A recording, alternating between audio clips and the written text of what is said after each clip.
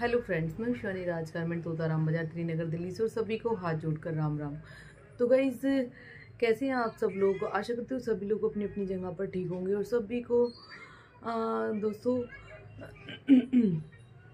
कुछ मैं पिछले एक महीने से वीडियो अपनी शॉप की अपलोड नहीं कर रही हूँ और ना ही किसी को रिप्लाई कर रही हूँ किस कस्टमर्स का फ़ोन आ रहे हैं व्हाट्सअप पे इंक्वायरी मांग रहे हैं।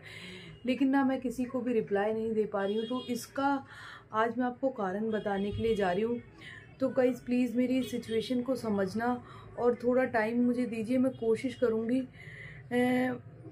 अपने आप को फिर से दोबारा से ए, लोगों को रिप्लाई करने का। एक्चुअली मेरे जो फैमिली में है एक मिस हैपनिंग हो गई है बहुत ही दुख घटना हो गई है जिसकी वजह से हम अभी अपने आप को सही नहीं कर पा रहे हैं। मेरा एक भाई था और वो अभी इस दुनिया में नहीं है। और ये 26 नवंबर की बात है। 26 नवंबर को उनका देहांत हो गया। तो अभी उनको एक महीना अभी 26 दिसंबर को एक महीना हुआ है। और इसी सब चीज़ों में मैं बिल्कुल वीडियो नहीं अपलोड कर पा रही थी। और सिचुएशन ये है कि घर के हालात ठीक नहीं हो गए हालात ठीक नहीं हो पा रहे थे। उसके बाद हमारे घर में एक और मिस हो गई। मेरी ए, सिस्टर के ससुर जी एक्सपायर हो गए पंद्रह दिन के बाद। और बस उसी चक्कर में घर में जो एक माहौल है वो बहुत ही दुख बना हुआ है। और हमारे ऊपर समझ लो एक ये पहाड़ की तरह है तो मैं माफ़ी चाहूँगी कि मैं आप लोग, कुछ लोग यूट्यूब पर मैसेज कर रहे हैं कि रिप्लाई नहीं करते व्हाट्सअप पर रिप्लाई नहीं करते तो मेरी सिचुएशन को या मेरी प्रॉब्लम को आप समझिएगा। और मैं आपसे विनती करती हूँ कि मैं नेक्स्ट ईयर एक तारीख के बाद से कोशिश करूँगी कि मैं वीडियो ज़रूर अपलोड करूँ अपनी शॉप की।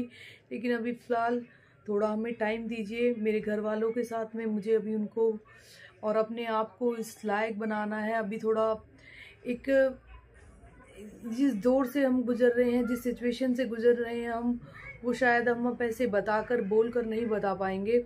ठीक है? उसी बीच, इन सब चीज़ों के बीच में ही मेरी बेटी जो है, वो काफ़ी बीमार हो गई है। वो भी अभी यहाँ पे हॉस्पिटल में एडमिट है। ठीक है? तो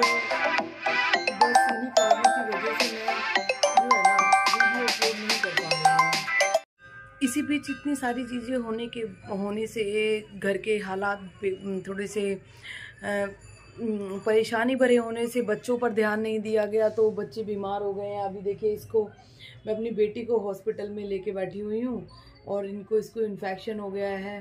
तो ये ही सब कारण है गाइज़ कि मैं ना तो वीडियो अपलोड कर पा रही हूँ और ना ही मैं आपको किसी का व्हाट्सएप पे यूट्यूब पे रिप्लाई कर पा रही हूँ ना ही मैं किसी को सामान दिखा पा रही हूँ।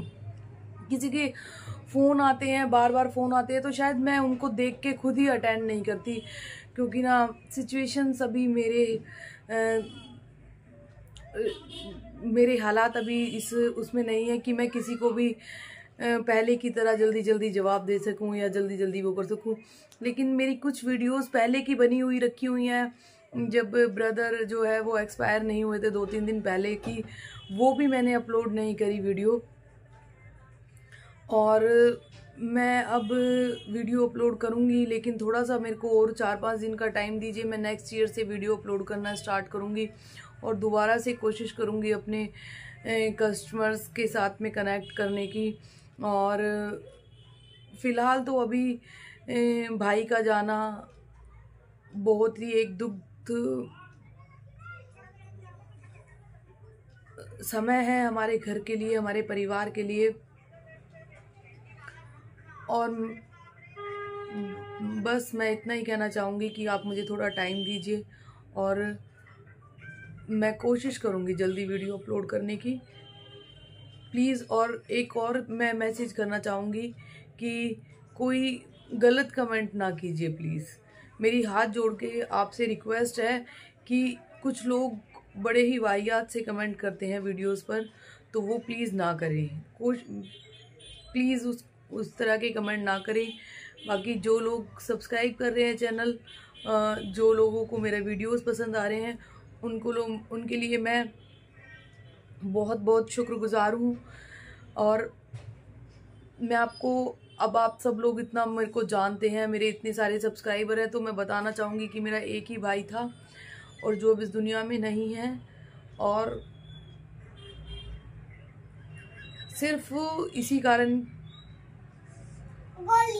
हम जो है ना अभी उस दुख समय से निकल नहीं पा रहे हैं।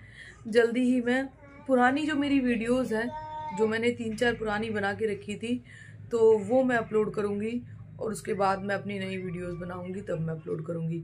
Okay thank you so much bye bye और यही आज का जो वीडियो बनाना का मेरा मकसद था वो यही था कि सब लोगों को पता चलना चाहिए कि मैं एक महीने से वीडियो क्यों नहीं बना रही हूँ।